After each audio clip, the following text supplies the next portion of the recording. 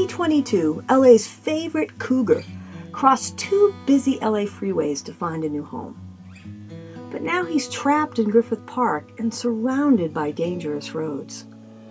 And for wildlife and people, connecting to natural areas in Los Angeles can be really hard.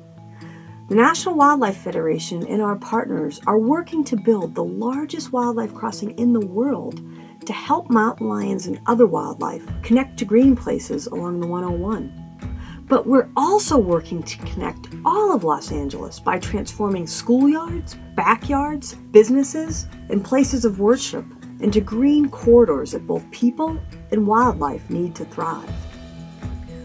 We're starting with a project to link Los Angeles public schools across the city by transforming schoolyards, replacing concrete with critical wildlife habitats for butterflies, birds, and other animals that people experience in an urban landscape. Schoolyard habitats increase the health, well being, and learning experience for students and also entire communities. This grant will provide the funding to build five schoolyard habitats that will support a healthy ecosystem and also enhance hands on STEM education opportunities for students. And that's just the start.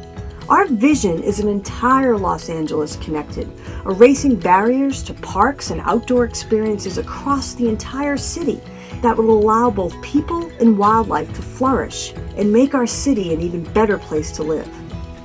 Like in Griffith Park, in the future may be creating crossings for both animals and people.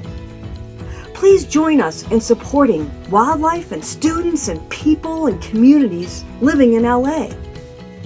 And be sure to come to the first P22 Day and Urban Wildlife Festival on October 22nd in Griffith Park. You'll see some demonstration schoolyard habitats and projects from students already connecting Los Angeles. And you can get your photo with P22.